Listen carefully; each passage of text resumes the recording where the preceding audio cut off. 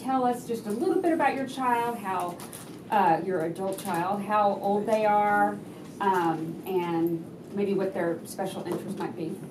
Start with that. Hi, my name is Evan Dolores. Uh, this is my wife, Arlie. Our daughter is turning 18 In August. in August. Her name Her, is? her name is Althea, or we call her Althea. Everybody just give say Althea. Uh-oh, everybody's calling her the wrong name. It's all right. But she wants to be called Althea. Althea. Uh-huh. Call me Thea. Call me Thea. All right. Anyway, yes. Um, she's a sweetheart. Sometimes she won't follow. Sometimes she will. But she's she, she would do her own thing, and she will do her household chores. Yeah. And we're gonna talk all about that. Hi, I'm Cindy Ron. I am the mother of Ian, who is 40 years old. Ian has Down syndrome. He um, works at Virgin Hotels, happily works at Virgin Hotels since April of this last year. He's a figure skater and um, he's a, I described him at his, to somebody the other day. He's a goal-oriented, task-oriented extrovert. I'm Jennifer. My son is Braden. He is 23. Um, he is here. If he hears me say something he doesn't like, he will come and correct me. Um, so that will be fun. He loves movies. Um, he loves movies, all kinds of movies. We go to the movies several times a week if we can, if there's things that are showing. And um, he has been employed at Pinstack. He's currently in between jobs. Hi, I'm um, Carol Lee. This is uh, my husband, Dave. Our son is Evan. He is 20. Um, you may know him if you at Kroger. If there's you see Evan at the checkout. That's my son, Evan. He works there, and he works. He has an office job as well, and he loves to sing. He's part of the Frisco Chorale. He's just a busy guy. We actually nominated and he won um, Student Employee of the Oh, Year. did, for the whole last year. area. Yeah, for Dallas Area Vocational Adjustment Coordinator. But I think they said what 200 districts or something like that. It was. It was. Yeah. He works hard. We're, we're not employee of the year. Um, That is okay. Yes. But, but your son does the best movie reviews, Yes. so, I mean, we've all got strengths, right? Yeah. So, Um, I just want to make sure, can everyone virtually hear us? Okay. Perfect, I see a thumbs up. Okay, fantastic. Okay, so our first question to all of you is tell us a little bit about your child. Actually, tell us a little bit about your adult. It says child, but it's adult. But he, because they will always be your child. Yes, I mean, yeah. yes. Um, their wrong. age, and some of you said that already, but tell us a little bit more about their interests and their daily routines. So we can just keep going. So, um, uh, yeah, like my husband mentioned, Althea is seventeen. Well, she's gonna be an adult, eighteen. Uh, like her regular day starts, like she has a routine going to school and stuff. She does everything. The only thing is, it has to be at her own time. You cannot rush her, but everything has to be the way she wants it. And her interest, she loves to sing. She loves to dance. She can be watching um, music videos all day. And sometimes I use that as a reward for her to finish her task, and it still works. First then, I love it. yeah, it still works. And yeah, the, the very important with her is just the routine. It has to be like um, very consistent. It's hard when things changes because she would ask why. And yeah, so. Oh, and I don't know if I mentioned she has Down syndrome, which is, that's what she is. And sometimes we forget. Yeah, we forget to tell everyone, no, she has Down syndrome. but That's yeah. okay. Yeah. We're, we're people first. Yes. So Ian works Monday, Tuesday, Thursday at Virgin Hotels. He leaves the house at eight AM on Dart. We live in Plano, so he's got quite a ride. That uh, Virgin is down in the Design District in Dallas. So he darts to work Monday, Tuesday, Thursday. He leaves at eight AM. He finishes work at three, and we just this today canceled all his Dart rides home, and he Ubers home now allows him to get home faster for the afternoon activities. So Monday afternoon, he we recently engaged with a coach so that he has somebody else as a mother figure instead of me. Um, he can receive that direction a whole lot better from another voice. Um, so he does that on Mondays, and then um, Tuesday he comes home, and that's uh, one of his days to work on his routine chores. Um, adulting is what he calls it.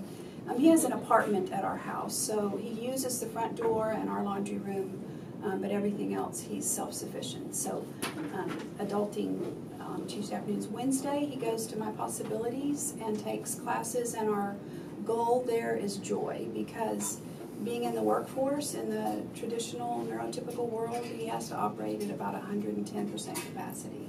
So he needs days where he just gets to let down his hair. So Wednesday is that. Um, Wednesday afternoon, he's a figure skater. So he Ubers from MP to the rink and he figure skates and, you know, does all his stuff for, he's usually there about four hours. Um, Thursday again is a work day. He comes home and he meets with um, a behavior specialist that we've just started working with. Just the, the pandemic was so hard that we've brought in, he kind of lost some ground and things got hard. So when I keep saying we've just engaged with this, we've just engaged with that, it's trying to bring him back um, after the pandemic and get him back level again. So um, Thursday works and then he works with the behaviorist on Thursday afternoon. Friday morning he goes to MP and does speech therapy and then just therapy therapy. Friday afternoon is a free day. Saturdays is free day and Sunday he um, Ubers back and forth to church. He has an in-person church and an online church, and he's in small groups with each of those. So he has an online small group, and then Wednesday nights an in-person small group. You can actually Google him. Um, Ian went to uh, Special Olympic Worlds and placed fourth in what 2017. For figure skating? Oh, Yeah, so he's a celebrity in the area. And I had the pleasure of recently being one of the, I say caregivers, he, he's so independent. I didn't feel like, I felt like I was on vacation, just being away from my house. Um, while, his family, while his parents went out of the country. And so I got to see all these neat things they have in place. So, and you're, he's also on the board of My Possibilities Yes. too. Yes. So, Foundation board. Yeah. Braden is 23. He has autism and intellectual disabilities. Um, on Mondays and Wednesdays, he wakes up. I usually wake him up before I. I'm a single mom and I still have to work, so he has had to develop a lot of self-help skills, whether he wanted to or not. And so, independent living was something that we pushed from a very young age, so that he could have some um, self-sufficiency. So right now, um, I wake him up on Mondays and Wednesdays because he leaves the house at about 8:15. I leave the house at about 6:45. So I wake him up right before I leave. He does his own medication. He makes his own breakfast and sometimes cleans it up. Sometimes that doesn't happen until in the afternoon. And then um, he has two ways he gets to his um, his day program. He doesn't go to My Possibilities. He goes to Heroes Academy, which is a, the year-round program of the Heroes Day Camp that's for all ages in the summer.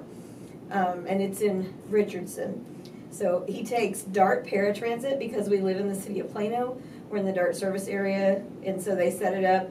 He was not deemed ready to do the train, so they do door-to-door service for us. It's basically like a school bus, but it's more like a car. But it's the same idea as the special ed school busing because they go door-to-door with him. Um, and then he- I pick him up, or another day a friend carpools him on Wednesdays. And on the other days, Tuesday, Thursday, and Friday, up until about two weeks ago, he had a job. That didn't work out, but he would um, get himself up. I would set about six Alexa alarms to make sure that he got up, and then a FaceTime. But most of the time, he was up.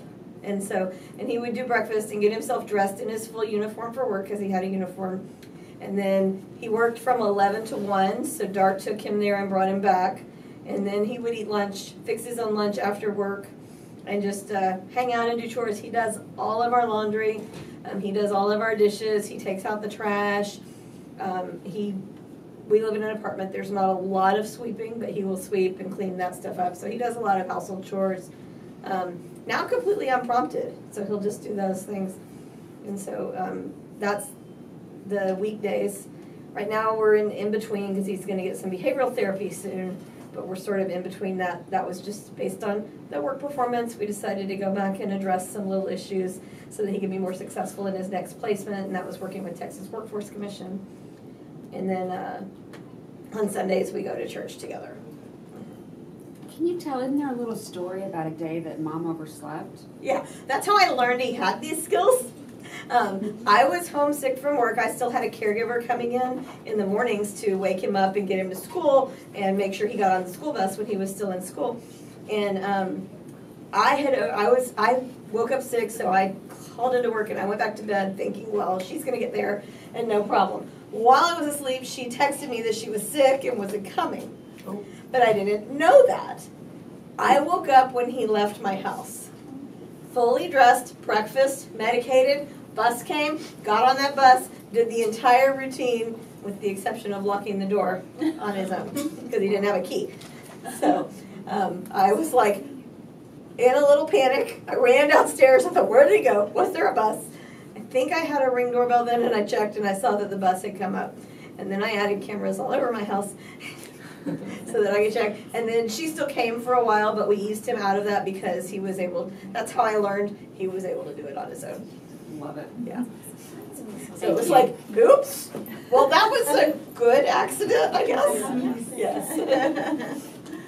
Well, Evan is 20, he has autism, he has two jobs. He spends most of his time at one of them. On Mondays, Tuesdays, and Thursdays, he gets up by himself and he makes his own breakfast and pretty much is outside waiting for Lyft through Collin County um, for his office job that he's at 9 to 5. And then usually Wednesdays, Fridays, Saturdays, and Sundays, except if there's something going on, and he needs to take a day off. He works 3 to 11 at Kroger. And we live around the corner from Kroger, so he just walks. And he would walk in the snow, sleet, rain, whatever. He does not want us to take him. Um, He wants steps. Yes, he likes steps. That's He wants. He's got the app, he's got the, there's an app called Cozi where you can organize your time. He's very structured with that, and he's very health conscious, you know, and so if he has a soda, he can't have one till the next day, and, you know, he's very good about being healthy, and, you know, it's just all in his effort to try to um, be the best he can be. So when he um, walks, that's part of the reason why he wants to walk. And I think he likes seeing people that he knows, whatever, at Kroger, because it is the main one in Prosper. Of course, he never tells us. I hear about it from other people. But Has he um, read it the one up here? yeah, right on, on the one on Preston. Yeah, he's um, so Been there three years. He's He's been there three years. And he loves it because things that are mundane to most people, he finds interesting. Like, we don't eat this cereal, but this person does.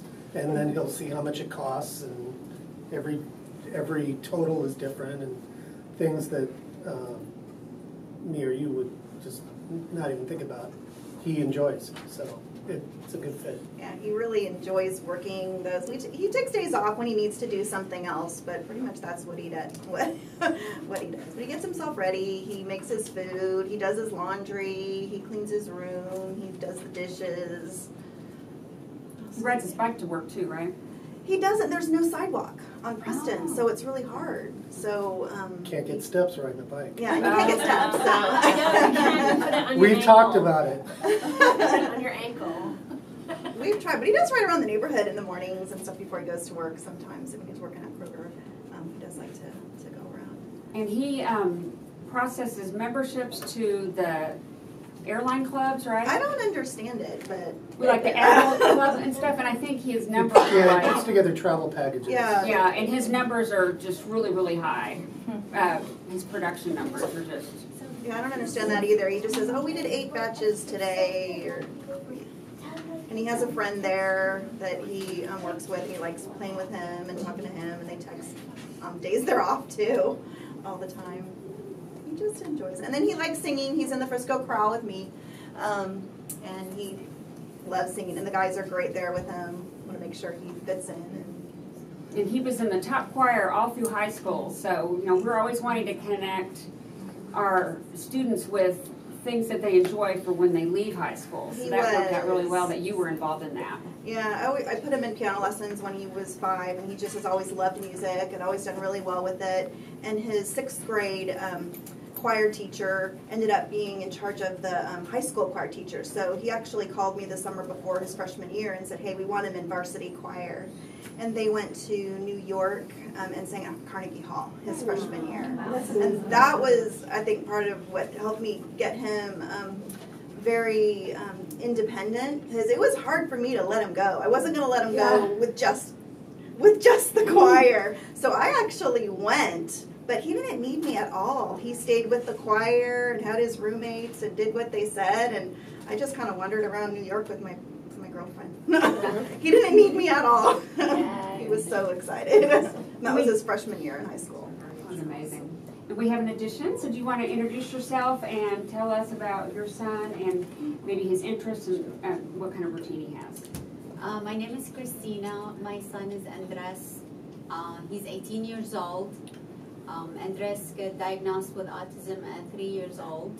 Uh, to age 28, he they get diagnosed with um, sensory dysfunction disorder first. Um, when we heard about autism, I was clueless. I did not know what is it. It's 18 years ago. It wasn't as known and understanding as of now. So I told the doctor, I remember um, telling him, I was like, what it is and how I'm going to cure my son. Is it a pill? It is a therapy? What it, what it is autism? Um, then it started the journey. Uh, Andres did not speak until he was eight years old. When he was diagnosed, he was a severe kid. Uh, did not say one word. Uh, kept hitting his head on the walls, uh, biting himself, uh, throwing up, uh, screaming. Never slept for eight years. And if, if anybody experienced that, that's actually I did, I've been through it. He rounded around the house all the time. Um, especially at night, it was like a nightmare for us because we take shift and we work me and my husband. So we take shift yeah, we take shift. He sleep like probably three, four hours, and I sleep three, four hours, so we could stay awake with him. Um, all my my, I went to so many doctors. If you if you name it, I went. If you if they told me to travel, I went. If there is a therapy that they somebody said about it works, I did it. Um, eight years. Um, nothing was Andres like like I couldn't I felt like he was in a bubble that I couldn't go through that bubble to him. No eye contact whatsoever. It was it was really, really, really hard. Um, but we did not give up. That's one thing that if, if anything that I will say today to any parent with autism or any disability, do not give up on your child because you could actually see them that they don't hear you or they don't listen to you or they don't look at you at all. They are taking this information and trust me, no matter what the severity of it, trust your gut.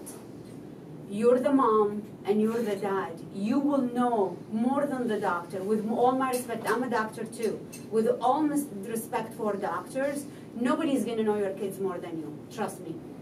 Keep going. Um, so we kept doing therapy. We went to different school district, changed school district. We did all of it. Andres right now is 18. He wake up by himself. He dress himself. He do his own breakfast. He do his own set of vitamin every every week. He set it. He set his vitamin, what how much doses he needs to take for everything. He do his own laundry. He clean. He's very clean, of course. You know, if you know I- had kids with autism, they are very kind of they like their stuff clean and neat. Uh, that at least mine. Um, his room is always cleaner than mine. He cleaned my laundry. He put them away. Um, he is responsible on the dishes. taking the dishes out of the dishwasher, put them back, the, the dirty one in. He take the garbage with every Wednesday because Thursday the garbage will come. Um, he feed the fishes. We have a saltwater tank, and if you have a saltwater tank, you know how hard it is to maintain that tank. It's not easy because you gotta do the chemicals in it. You have to change the filtering. You have to do a lot of things to the tank. He keep the tank really well maintained. He feed the fishes. Um, he still have no eye contact as like when you see him. If he's just sitting, you're not gonna know. Like every all of, all of our kids, they look normal, but if you actually talk to him, he will look at you and then he will he wonder. So you know there is something. It's like big eye contact. So one of the thing I mentioned to to his teacher when he was young, I put a dot on my nose like a marker, and do that with your young kids. It worked for my son. To keep the eye contact, I put a dot on my nose, and every time he talked to me, he got to look at my dot on my nose, and that's helped him to keep the eye contact. So the report that the doctor gave me in the end, that they said he will never walk, he will never talk, he will never function in society. I prove all of them wrong. And I have six boxes full of doctors' visits. So don't give up on your children ever. It will it will pass. I, I promise it will pass. You will have a different challenge every year.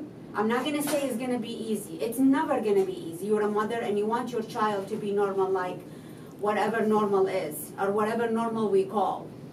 But don't ever give up on your child because uh, trust me, things will get easier. You will have different challenges, but it become you could look at them and you said, "Oh my God, I cannot believe he did this." Like the simplest things, you know, or the things that he say. It's just amazing. Like the other day, we were talking about colors, and and a car car passed by us, and he mentioned a name of a color for the car that I never heard of it. I was like, what is it? I looked at my husband, I was like, what is that color? I never read it. He, like, they could maintain all of the information that they read and you say. So don't give up on your children, please. That's one thing. And you have to work. If you have a husband, if you have a spouse, if you have a partner, both of you gotta act the same way with him. Don't ever be one lean and one heart. You cannot be that way with, with, with autistic children. You have to be exactly the same. Both of you has to be on the same page. Like, if, and the school too.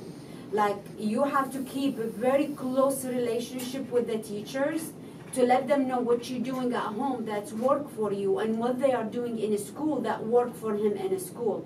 And vice versa like take information from them that it's working in the school and you tell them the same thing. This is what working for me. For example the, the his elementary teacher she did a sheet with with faces like if he did good uh, through the day that paper i laminated and i had it on my refrigerator for years and that was his motivation not the candy not the food which is he food but that page when that pen go down in the face, it was like a disaster in my house.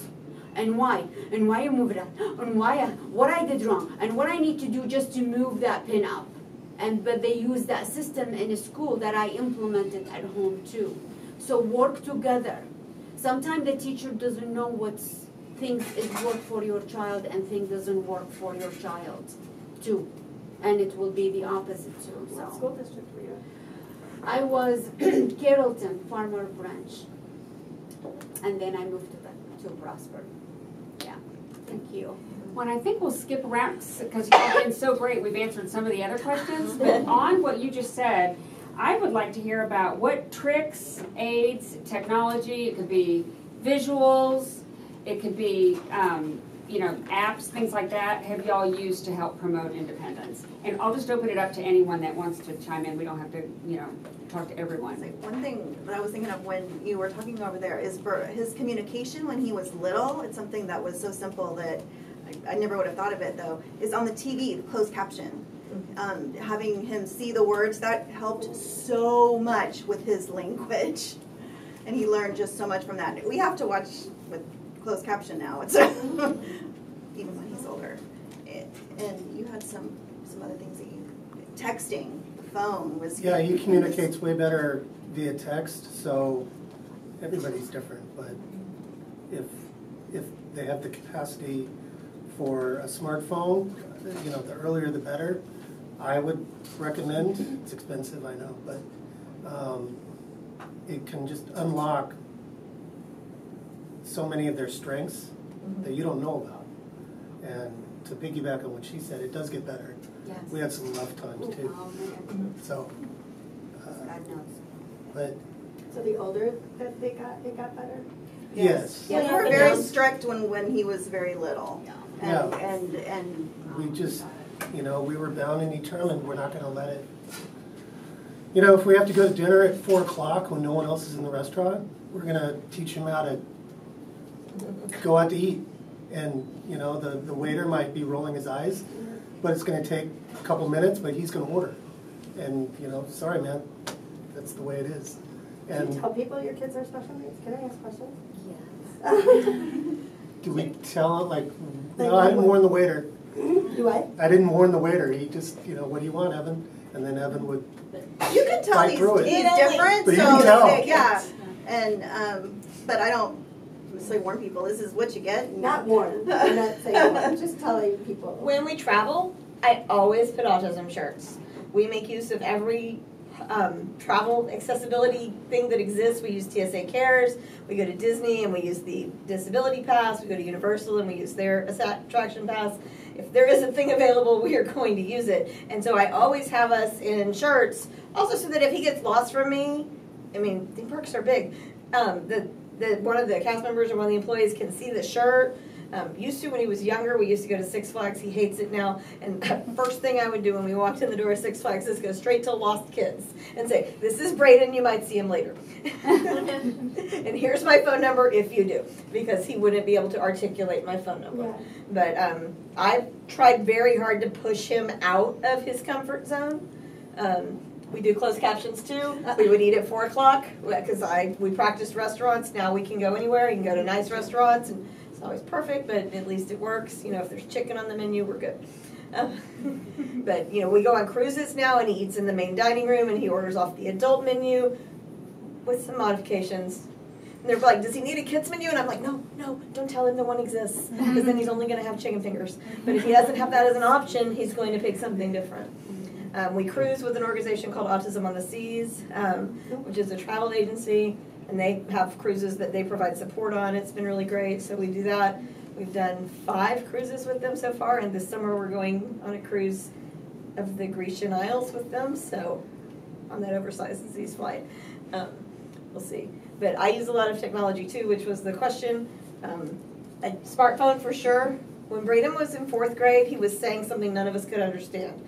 And at that point in time, academics, he was pretty much at a kindergarten level from all we knew. So finally one day, I'm like, spell it. And he did. It was like this whole sentence he spelled. And it opened up worlds. And then he spent, that was like in May or so of his fourth grade year, he spent all summer spelling things to me, which was fun when we were driving because he didn't put spaces in the words. And I'd be like, wait, what?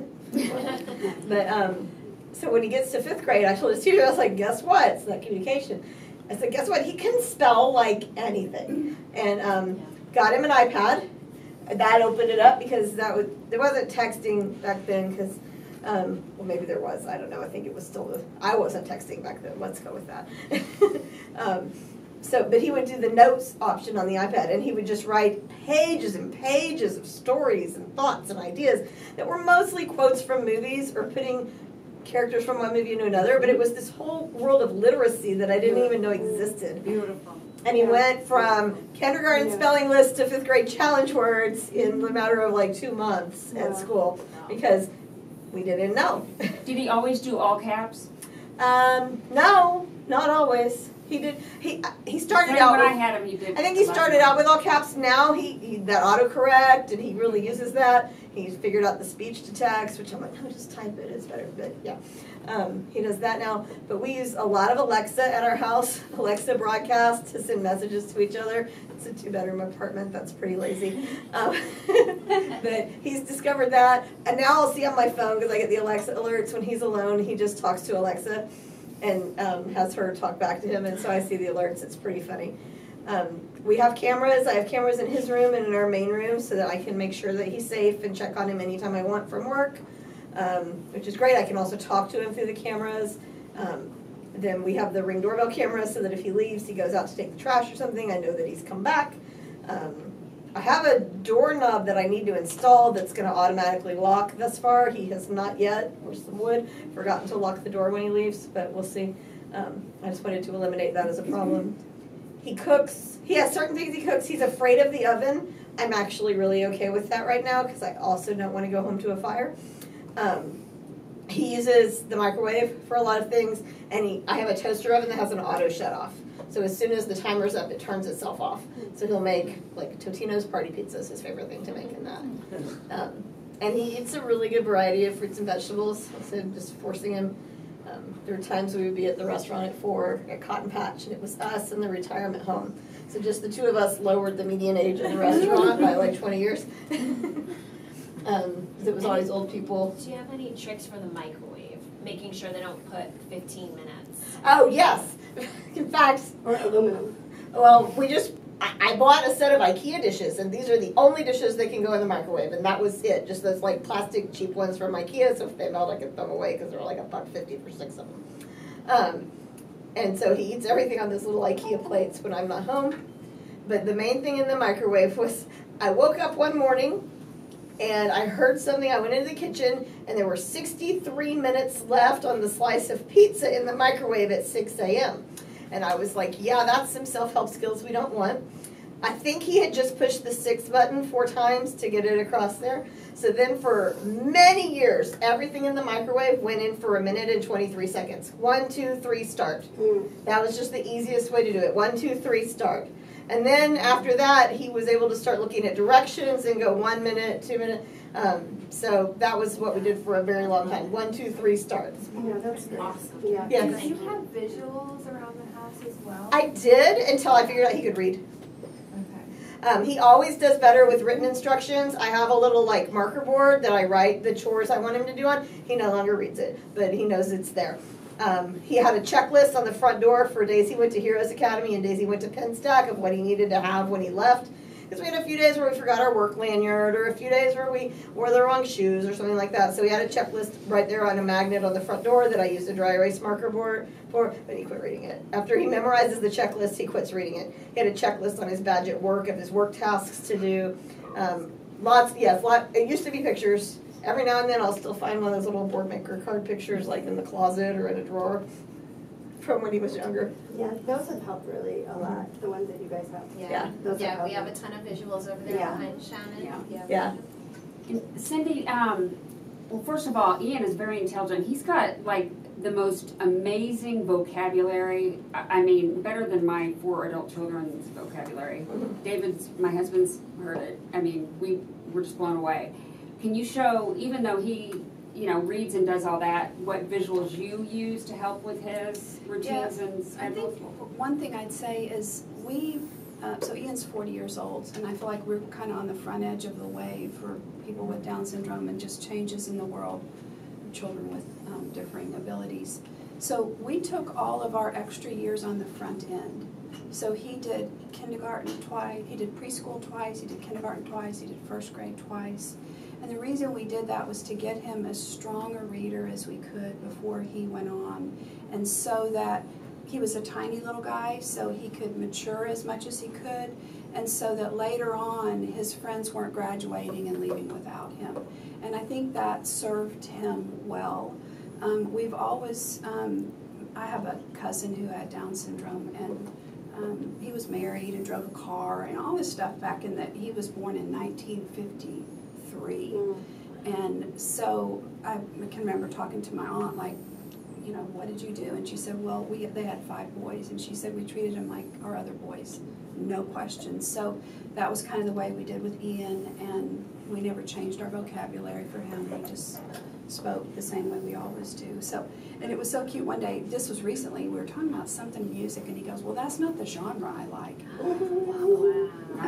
Whoa. Um, so, this is is, um, show them which thing. This is this is his weekly schedule here. We got um, every day, and we just this is just a folder, and we put the jobs um, down, and like there are eight jobs a day, and then these the front is cut into pieces so it'll hang down, and when he completes the job, he just folds it up and it clips, and however many jobs he completes in that day, it it equates to points. And then he's got a thermometer, that thermometer, we put the points over there. The thermometer equates to cash. And the thermometer's on the other page. Yeah. Here, this is the side where he, and then he, this is just showing you that it all opened up and then here's when he's like done it halfway or something like that. The other thing we did, um, and this was later on, I can remember, um, talking to somebody one time and you know how sometimes you just want to prevent your kid from having pain out in the mm-hmm. world and so you know i'm trying to massage the world and make mm-hmm. it more accepting and all these things and somebody said to me you have to stop being the no for the world. The world if the world is going to tell him no he has to learn no from the world not from you. Because then all of his anger or frustration is it you because you said, you know, I don't think so. So the the moment that like when all this came to pass, we lived in a small town in Pennsylvania. He loved firefighting, had ever since a kid, everything.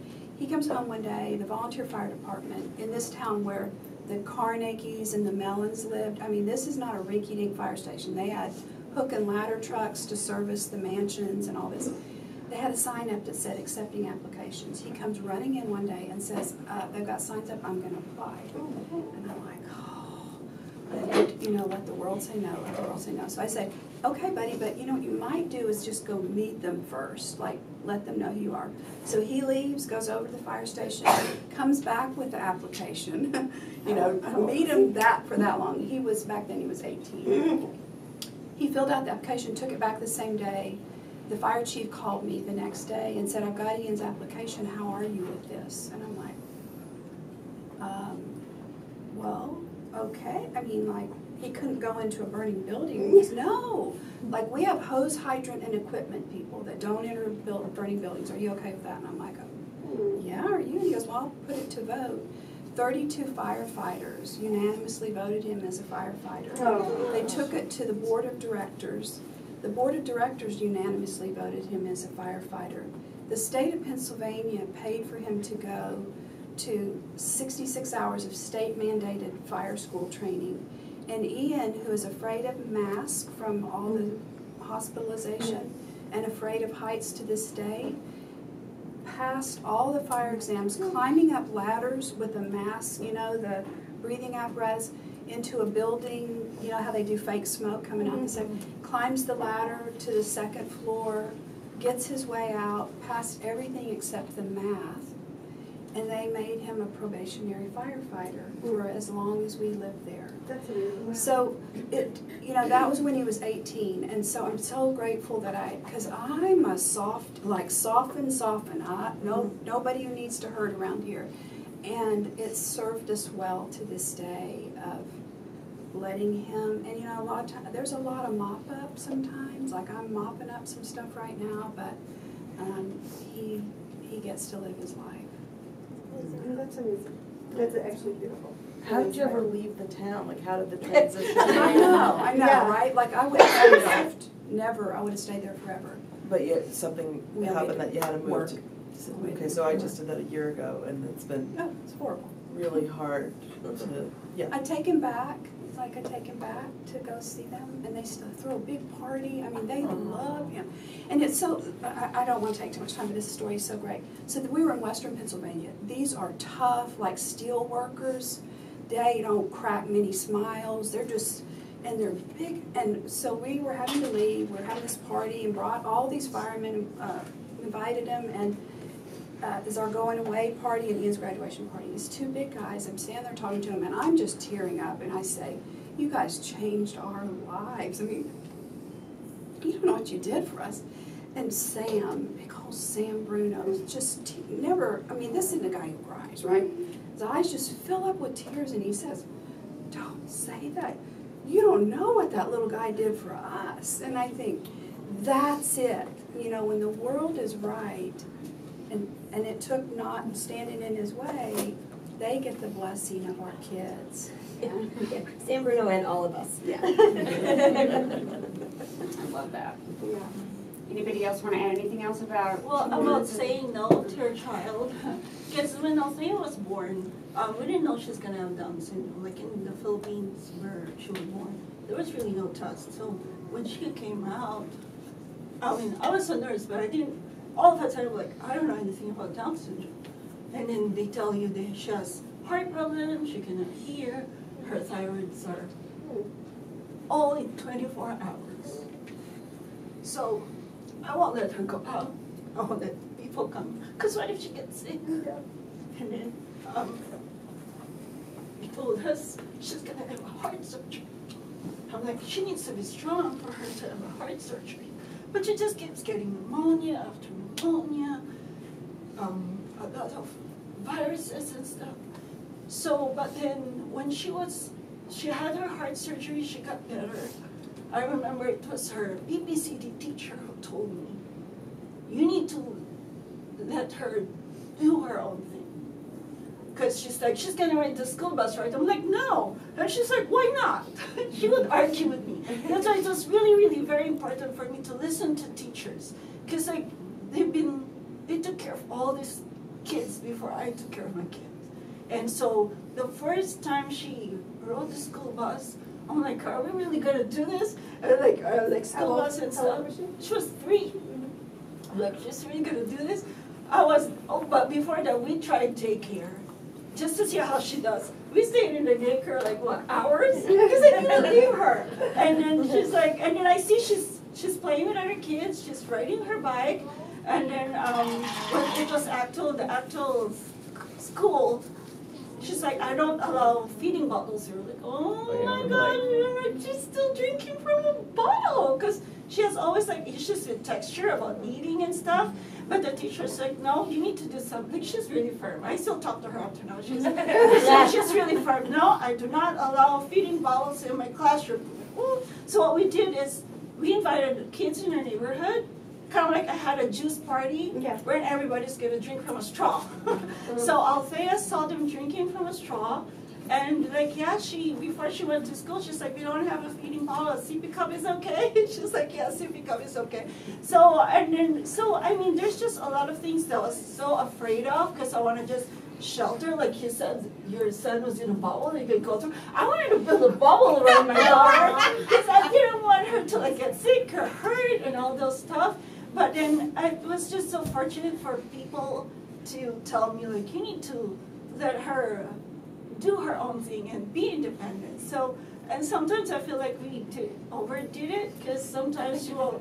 I prepare her clothes and then she'll put it all back and she says her own She'll clothes. clothes. yeah, and then or um, She's a teenager. yeah, and then when the the time like it, I mean she takes a shower by herself, and then sometimes I'll be like, come on, hurry up, we need to like you know, because she's she always takes her time. Uh, so I do it, and then okay, you're done. Out of it. She doesn't come out. You know why? Because she will take a shower again. Because she's I want to do it by myself. So she she would always do it by herself. She she pretty much does everything. I always because she doesn't want mommy hovering over her. So I ask her sisters, can I go check? Because if she sees me, she'll close the door. Because she knows like I always want to like help. And then I always ask permission. Do you want me to do this? Do you want me to help you do this? And she'll like, sometimes she'll say yes, but most of the time, no, I'll do it. So which is like, so it's really, really like something that for me is something that I have to like overcome is to let her be independent. So it was hard, but I mean, it, I guess it, it was okay. Like what she said that sometimes we do forget that she has Down syndrome. Like, wait, she has Down syndrome. That's why she cannot do this. We're we're so used to making her do all the things that other sister. uh, her sisters would do, and we would bring her to places, and they'll be like, "Hold on, she has Down syndrome." And uh, sometimes we need to take a break and wait. Well, let's let's make her try it and let her figure things out, and let let her fail, and then try again. And and we were so surprised. And you were saying that they will snap out of whatever you want them to teach. One day we were when was that like when she was in fourth or fifth grade she has her training wheels Oh, yeah. on her bike right and we're like should we remove it and try if see if she actually knows how to ride it and Of course, the mom in me is like, no, she will get hurt. no, she, she will, will fall. get hurt and so we took it off and we're like I'm there ready to run I put on my running shoes and like I'm gonna dive and run and whatever if she falls and she just started going straight and I'm like where is she going? And she was laughing. And she was she having was fun. laughing and she's like you guys didn't even know I know how to ride already and Yeah, she just went straight and like And she does roller skates. She doesn't like figure skate because she says it's she does um, roller skate. She always has like um, issues with some texture. She makes her fruit smoothie. She slices the, the strawberry like she's slicing a a steak. but she has She will to never touch the fruit. fork Yeah, she will never touch it. She slices it like that. But she does her own fruit shake and stuff. And um, yeah, she it's just like amazing that sometimes we think she she's not absorbing what we're telling her because in school she's different. She uses a communication device in school. At home, she doesn't even bring it out of her backpack. That's why sometimes she goes to school, her communication device is not even charged. I always text Mr. Lancer, I'm sorry it's not charged because I mean, we never use it at home. Because that's the other thing is she's different in school. She's they all the Mr. the Lancer always tells me how amazing she does reading and math and also she never does that in school. I, I mean at home. So sometimes it's hard for me to believe really she did that. Like yeah she did that. I'm like oh okay because she never I don't know why but she is always different at home than she is in school. I guess school is just schoolwork. At home is different. I think that's probably what she she thinks so. Well, that kind of leads into my question. What lessons have you guys learned from teaching your child independence? What was the question? What lessons have you learned from teaching your child independence? Not to, not to have, well, I've learned patience, but at the same time, to not have lower expectations. Yeah.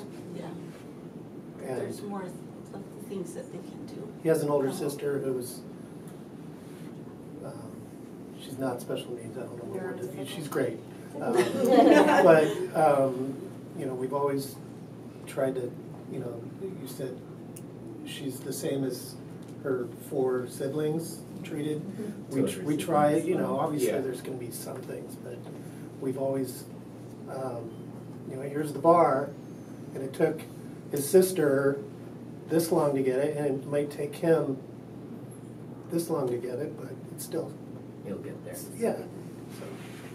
Not to underestimate, I mean, like the story about, I woke up one day and he was fully dressed, medicated, out the door on the bus to school independently, and I had no idea he had that skill. I didn't know he could read a clock.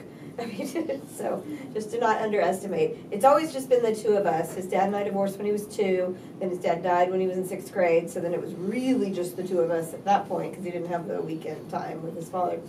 Um, so it's just the two of us, and so it's easy to kind of underestimate or do too much sometimes.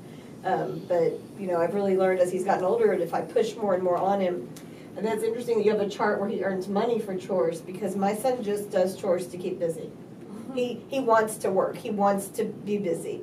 Um, his tested IQ is in the 60s, um, so Whatever that means, right? whatever that means. It, it means that he communicates to the rest of the world in that way. It's his communication is not always clear and concise. He's not always easy to figure out.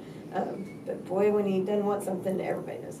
Um, he was a severe behavior student, Um, in ninth grade, he was literally one-to-one all day, and he was in a class by himself in eighth grade.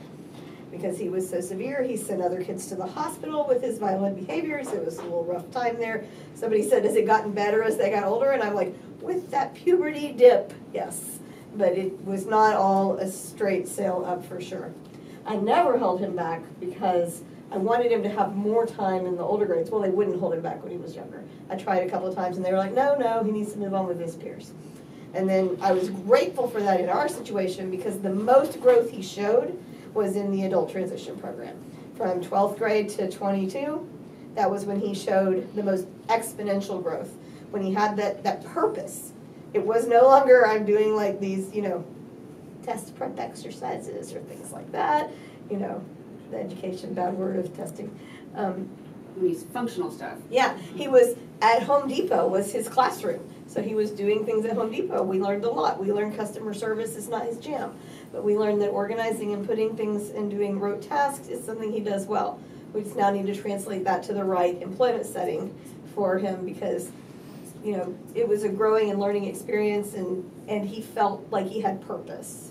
And so just, I think the theme I've seen from everyone here is that we've all taken risks.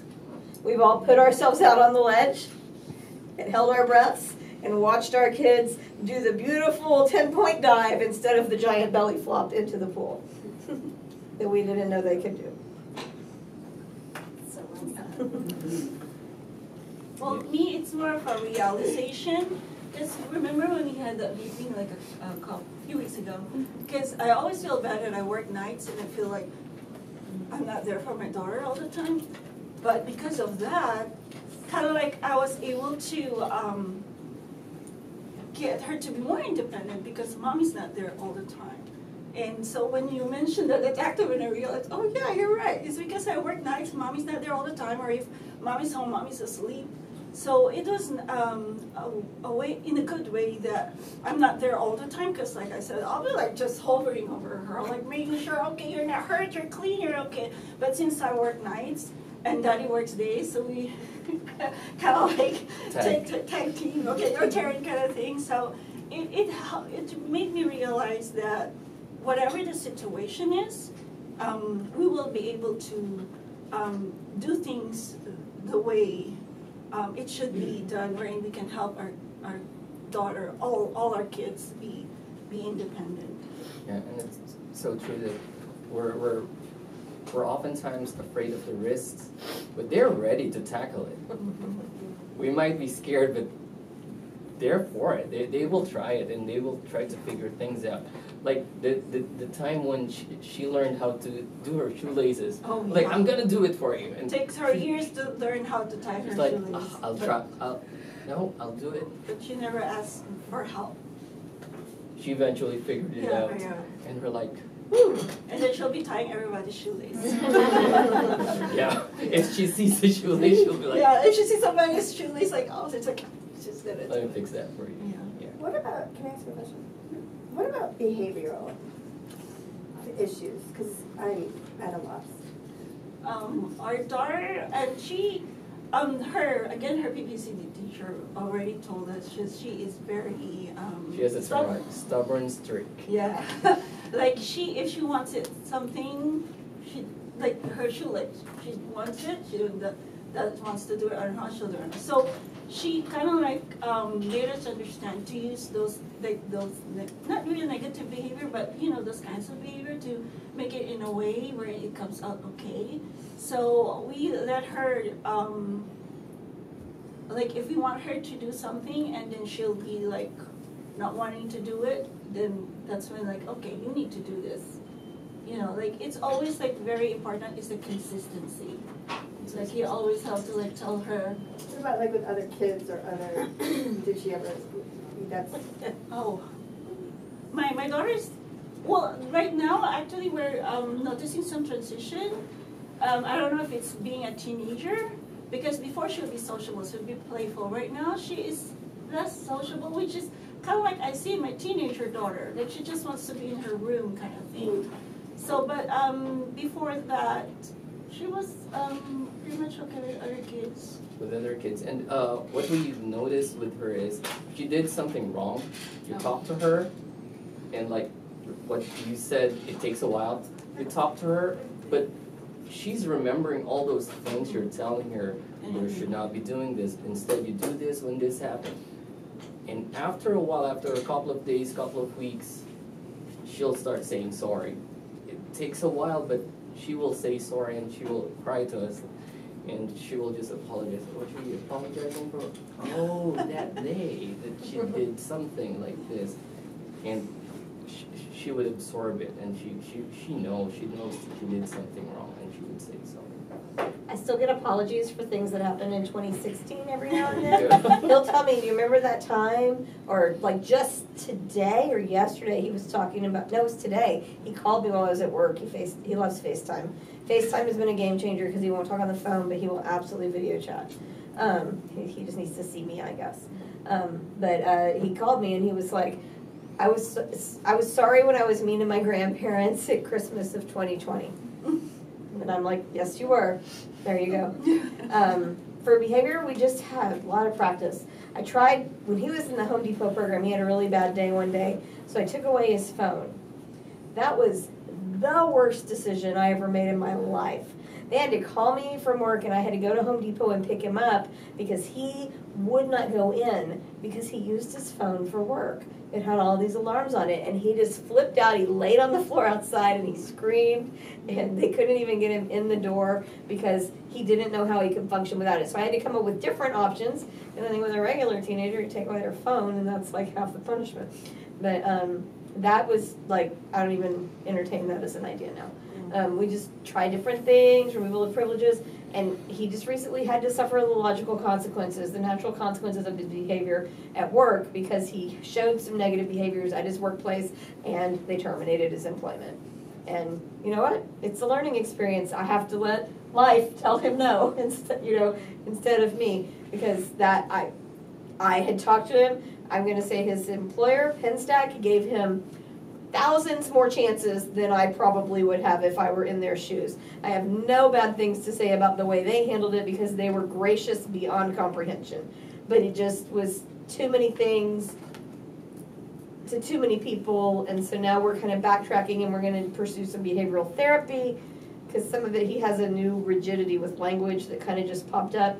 There's certain words we're never allowed to say, I'm never allowed to say, and it makes communication challenging when you can't say words like then or more or if or going to or want to or need to. Those are words that you use a lot and I can't say any of those and he stops me and tells me no.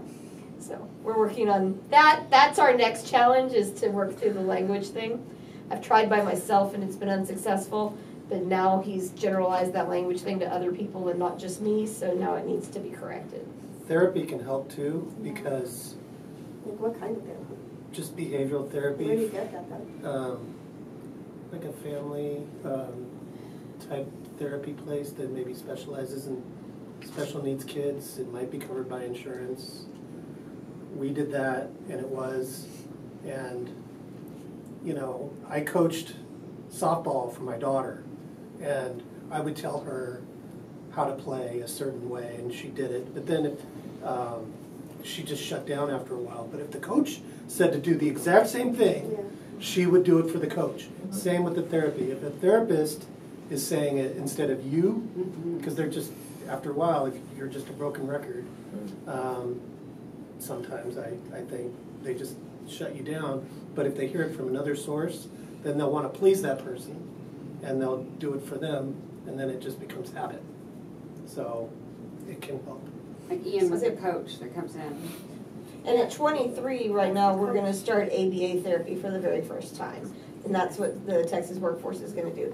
Cognitive behavioral therapy is not really great for Braden because of his verbal communication skills aren't such that he can meaningfully participate in the process.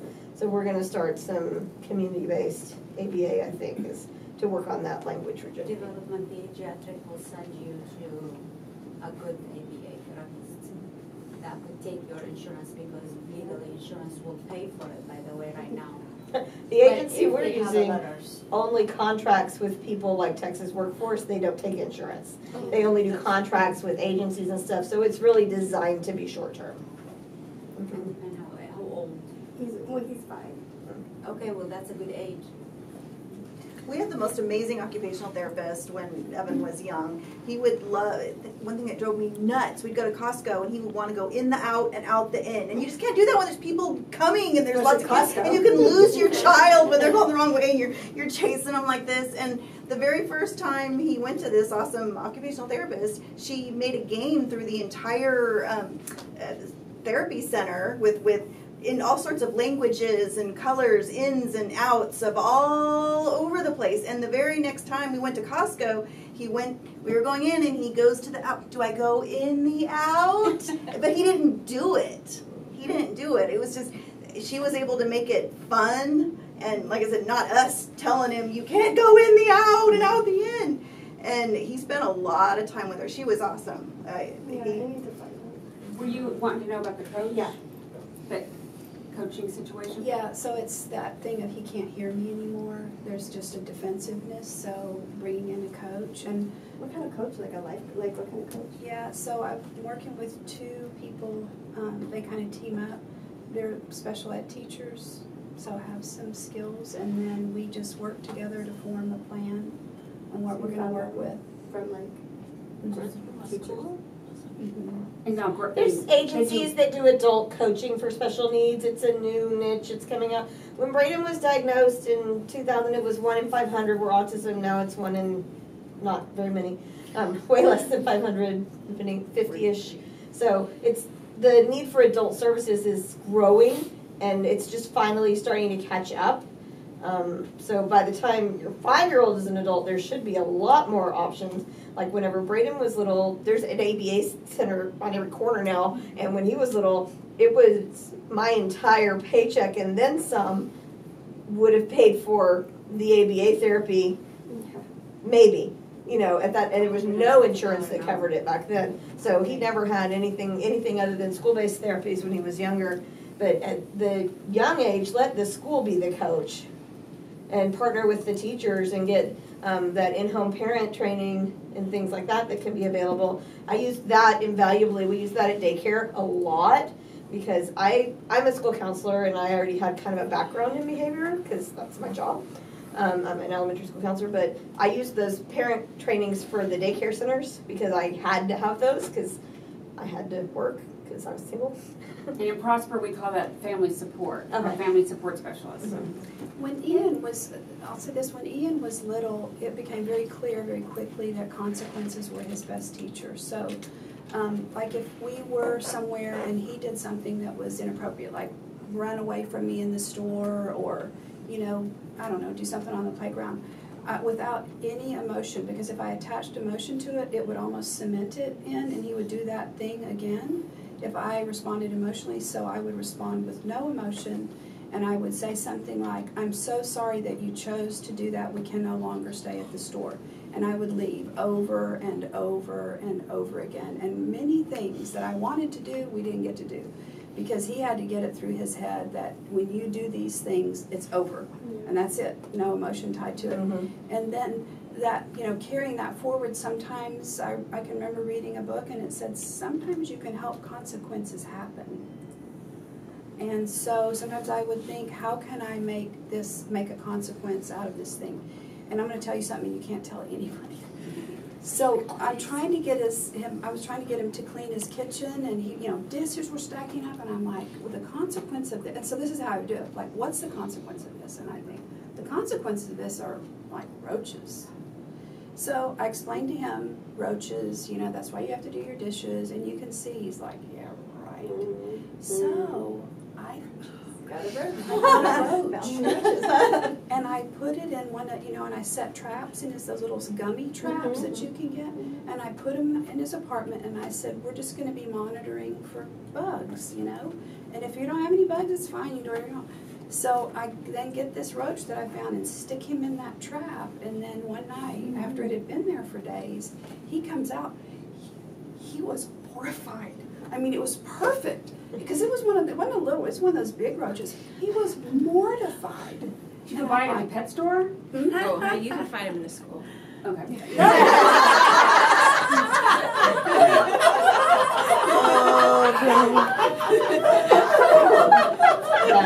That's- But it worked well.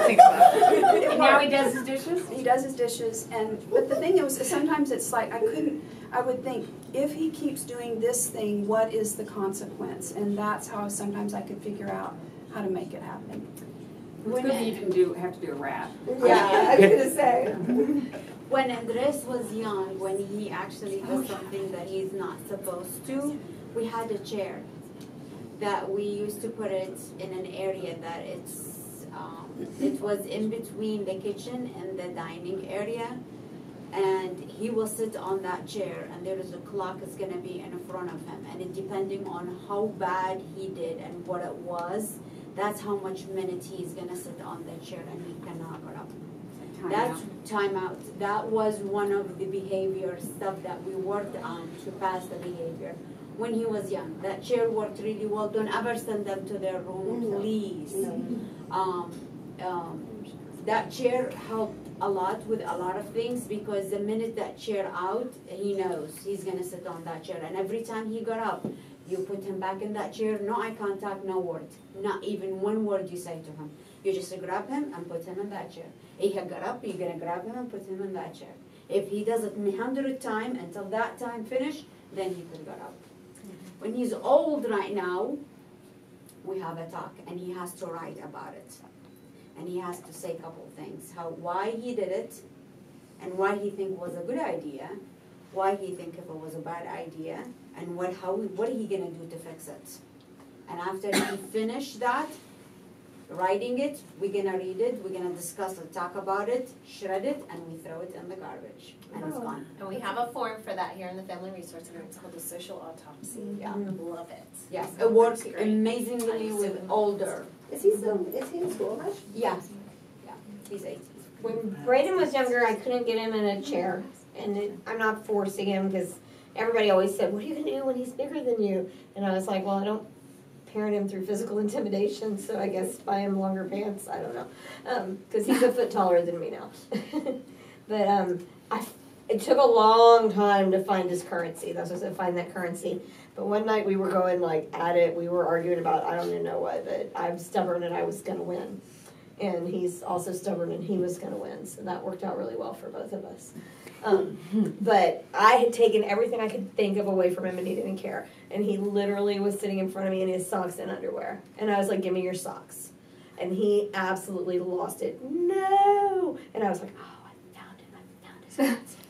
For about five years i put his socks in timeout because he loved his socks and that worked we would be somewhere he'd be throwing a fit and i'd be like sock and he'd stop and he'd have to take it off where he was and hand me his sweaty, gross sock. Some parts of it I didn't think out through well. But um, I'd set a timer on my phone and whenever he was done throwing his fit, he could get his sock back. Did it stop working after? It, it stopped, I stopped needing to use it. Oh, I, I better. suspect if I asked him for his socks now, he probably would give them to me. But I haven't really had to resort to that. We haven't been in that kind of situation where we've had that. But we left a lot of carts in the grocery store. We left a lot of food at restaurants where I just threw money and ran. Um, we've left a lot of you know fun activities early because if I said we were going to leave, we had to leave. That was it. Get there was kicked nothing. out Yeah, from follow through. And then that was like before there was grocery delivery, so I was like, well, crap, what are we gonna eat? Because we don't have any food. So that was, yeah. Not letting So them how win. did you guys, uh, did, did your behavior, your son's behaviors, um, spike through puberty? I've got a thirteen-year-old who has autism, autism and is nonverbal. Yes, Um, and he is about six inches taller than me and my size. he became very, very aggressive.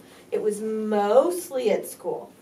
See, he's the opposite. Yeah. Oh, we had a great day. And I'm like, what? He's So coming ask them- and like, Ask them what's different. Ask them, try and figure out. Sometimes it's the release of the safe space. They say that, and I'm like, but I don't want to be that safe person because it hurts. Um, um, but yeah, it's every day different. I feel like. right? Yeah. So But uh, it was it was just really I just had to power through. I don't have any tips other than grin and bear it, and we used a lot of medication. you did. Maybe yeah. both of us. Um, definitely him. There's a couple times I went to the doctor and I said, one of us is leaving a prescription and I don't care who. And the doctor would be like, well, let's start with him since he's the patient. so, um, he was, he had a lot of medication through puberty. He worked his way off of some of it and the dosages have come way down since then. So it was a short term, but a much needed. I hospitalized him because his behaviors were so severe in seventh grade. Um, like I said, that's when he sent another kid to the hospital. He yanked a bookshelf and sent it down on that kid who had to go and get stitches. It was really bad. Um, CPS was involved for the school, for supervision. It was this whole big ordeal.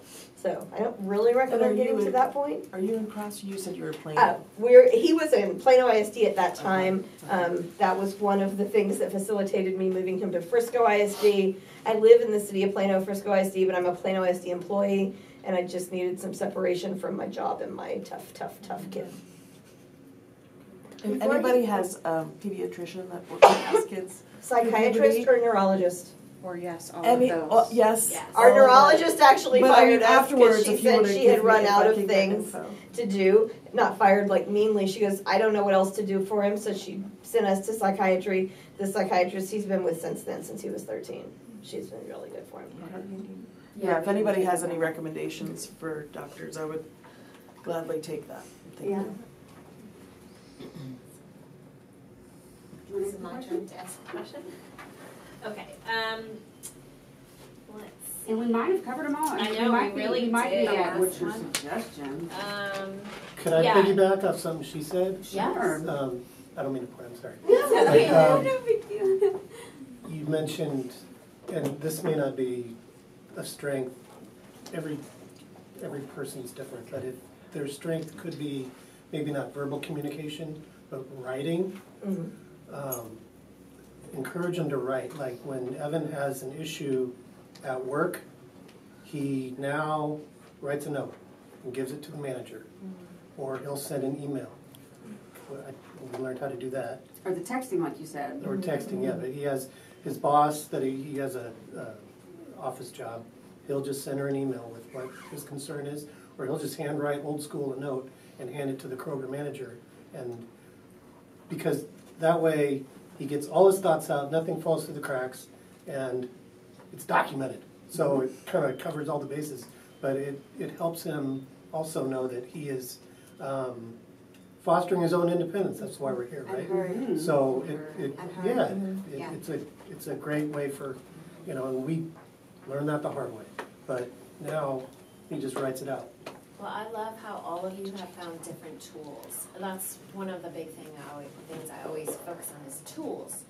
Um, and they each seem to have tools that work for them. And I think it, it sounds like you just gotta keep trying as many tools as you can. And that phone can't be taken away because it's a tool. And also not only tools, but your resources, the people around you. Um, you can't do it all yourself. You need tools, you need other people, you need mm-hmm. resources. So that's one of the biggest takeaways that, that I found from this. It's amazing, and inspiring. Yeah, your stories are amazing, you guys, and so helpful. My little one's only five, but this is probably the best thing that I've heard, and I so needed this, so thank you. Mm-hmm. And now if each of you could just share something that you would like to tell the parents, no matter what stage they're at, just the most important thing for you that you would like to share with them. There's a lot of positives. He'll never do drugs.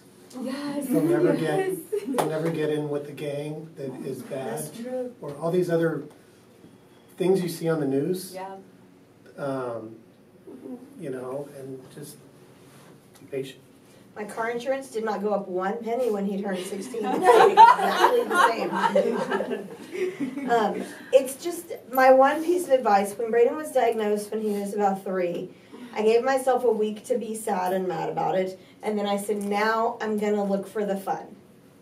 And I set out with that mindset. I made a very intentional choice to look for the fun and find the fun. And some of the experiences we've been able to have that I don't think we'd have had if we weren't on this special needs journey.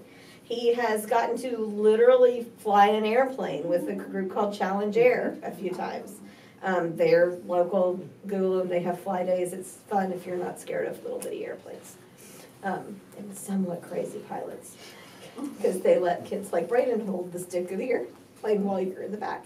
Um, he got to be on the field at a Rangers game on the mound before the game, introduced as a representative from an autism organization for, you know, an autism awareness game. He did not get to throw out the first pitch, but he did bump into Nolan Ryan. Um, so you know, little things uh, that are big things. Like I said, when we go to Disney World, we're able to take advantage of the attraction pass, and we're able to ride all the things that he's willing to ride, which is not the biggest list because he's afraid of cats. Um, Oh, he does lots more than my brother. I mean, he does zip lines and. He'll, uh, you know, he'll do a zip line, but not a roller coaster. I don't understand it as a zip line; it's way scarier. But whatever. Yeah. So you just never know. He's he's got weird splinter skills on that. But it's always to. I've always thought I'll try anything once. I may only try it once, but we'll try anything once and see how it goes. And so we found cruising is a great way to travel. We have the supports. There's breaks. There's you know, all different kinds of accommodations. Everyone on the ships is so, so incredible. Um, we've done it with Autism on the Seas and without. Obviously, I prefer with because there's people and there's someone to talk to at dinner that talks back to me because Braden doesn't talk to me at dinner. But um, we just, we just, we'll try anything. We're going to Vegas in two weeks. Never taken him to Vegas. Don't know how that'll go. Just me and him. We're going to try it and see. But you just have to be willing to take risks and to put yourself out there and to push, push, push. Can you tell them your social media handle? Oh, sure. Um, I do uh, little videos on Facebook. They're called Reels. They're one minute long, and I do them. And so it's Jennifer Harrison Earp if you want to look them up. We have a moderate following, I will say, a small Jennifer following. Harris what? Harrison Earp, E R P is my last name. It's just my page. Um, so if you follow me, you just learn all the things I do during the day. And then also up at the videos. He does movie reviews, one minute movie reviews. You got two thousand, you got a big following there. Well, okay. And some of our some of our videos have six or seven thousand views. So he'll film videos with me. I do videos of how I'm taking him to the store and teaching him to grocery shop. He makes a list. There's a couple of videos of that process.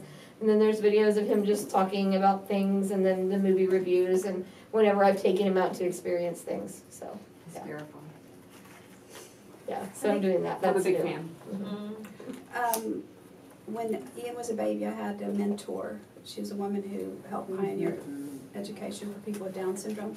And she said to me when he was a little baby, you know, the medical textbooks say he's stubborn. So the doctors that are going to treat him have been brought up with him being stubborn.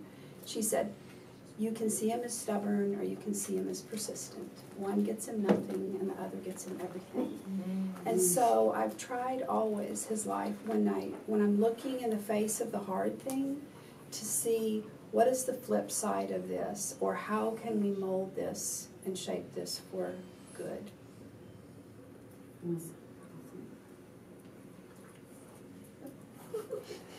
So, for us, for let them try, let them try things. They will figure things out more than we can ever imagine. Things that we fear, they don't fear those. They don't. They will try and tackle them. We as parents, we will try to be protective, but they will not protect themselves. They will try it. We're just there to be like a guide. All right, you need to stop now. You're gonna get hurt. But let them explore. Like Althea, Althea learned to swim, and we were like, she's gonna drown. no, but she learned to swim, and things that you kind of fear that she won't be able to do, they will eventually do it in their time, not in our time. They have a different timeline, and we just have to wait a little longer. Just wait a little longer, and and they'll eventually get there. Yeah, She does the zip line. I remember at Hawaiian Falls, there was a, a very tall slide. I said, mm-hmm. no, she, she'll get hurt. It's just like, I want to go. Like- So Yeah, she, she- did. Daddy just had to follow her. I was there downstairs. I mean, like at the bottom of the. My heart was like, oh my gosh, it's gonna come out of my chest. But I mean, you can. Oh, I don't know if like What you if heard she they'll freaks out laugh, inside? but the laughter is so precious. Like you can see that she's having fun. So I mean, it's still hard for me to let her do things. I mean, I, I think it's a mom in me, but like my husband said, let them explore. I never know that she would ride a bike or roller skates because, I mean, I was scared for her to do it at all. But they're like they're all like, oh, you're doing it. I have a lot of videos and I'm showing it to her friends and stuff. Like so proud of her. Yeah, yeah. just let them try. About you? I agree with all of, I mean, they said that exactly the same, I'm gonna iterate exactly the same thing that they say, let them try, try everything. We tried with Andres to ride the bike, talking about a story about the bike. Every single summer. Nope. I buy every year a new bike until he was sixteen. And he learned how to bike at sixteen years old. So never, never give up. You never know when they, it's gonna snap and they're gonna be ready for it. Sixteen he was, he learned to bike. And now he go with the bike riding with me, so mm-hmm. now he actually cycle at home, so. And mine actually said, I don't wanna do that. And that's okay, right? Yeah, and I was like, well, then I'll quit trying, I will move to something new. That's, that's good. Yeah. Do you guys wanna tell, uh, before we open it up for a few minutes of questions, do you wanna kinda tell about resources that y'all have to help with all that? Well, um, first of all, everything you guys said was so amazing. It was absolutely amazing. I'm gonna tell everybody to watch this video. Thank you, David, for videotaping it so well, because this is absolutely priceless to. But I'm gonna go back through the video and I'm gonna take notes. Your quotes were amazing. Um, and everything you mentioned, like challenge air, all of those little things, we're gonna do an um, list and we're gonna make sure all of that gets out so that you'll get all of those things. Um, so thank you. Um, and yeah, just a plug for the Family Resource Center if you're looking for resources, if you're looking for um, what uh, people that other parents have referred, come see us, come stop in. Some of our volunteers are here. So. We've got a mentor program, And and we have talked about mentor. having a mentor, and how Yeah. important that is. um, finding your people, finding friends that are there. Um, I joined a Facebook group about six or seven years ago called Awesome Moms. There was about hundred people in it at the time. Now there's six thousand, and I'm on the board of directors for the nonprofit. And so, just finding you know ways to get plugged in and ways to help and what to do. hmm People that get it. Yeah. Yeah, and anybody want my cell phone, I will be more than happy to share it with you guys if you have questions. One day it's, it's a hard day for you and you just wanna talk to somebody, you know, I'm, I'm more than happy to help. I don't answer my phone during the day at work, but Yeah, uh, my me too. Facebook is always open. Yeah. Got two minutes left on the memory card? Well, Well, so much for your Well, we, and people can stay and ask questions if they like, but, um, we just cannot tell you how much we appreciate your time and talent and treasure that you're sharing tonight. Um, and we've got a little something special for you, so don't run off. Um. That's it. I'm going, we can end that and I'm gonna let, you. see if anyone virtual has any questions or we'll do questions. So let's give them a round